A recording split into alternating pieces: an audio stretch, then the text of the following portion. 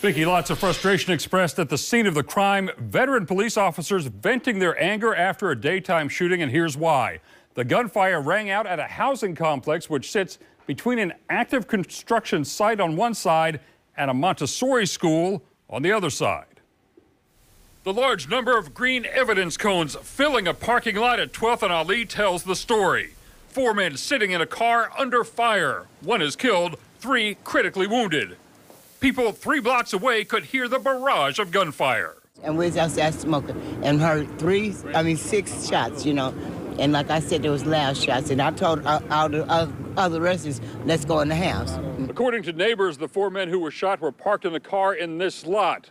Someone, a person or persons, fired into the car. Well, the driver was hit, but he took off. He went down this little exit way and out onto the street, but he didn't get very far because his car was riddled with bullet holes. This is just so frustrating in broad daylight. You have individuals out here working. You have two schools in close proximity, and you have individuals that feel comfortable enough to try and take someone's life, four people's lives. Phillip Baker is the family resource coordinator at an elementary school next to the parking lot where the shooting happened. Baker says students had to be rushed off the playground. Our number one rule is to get every kid safe, get them in a safe place, uh, get them all the resources they need to be able to deal with traumatic uh, situations like this.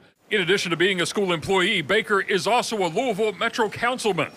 Our kids gotta be able to realize their dreams, and so that's the biggest thing. So please, please, please stop the violence. So again, one man dead, three left in critical condition following that shooting in the Russell neighborhood this afternoon. So far, no arrest has been made. Reporting live in studio, Randall Cam, WLKY.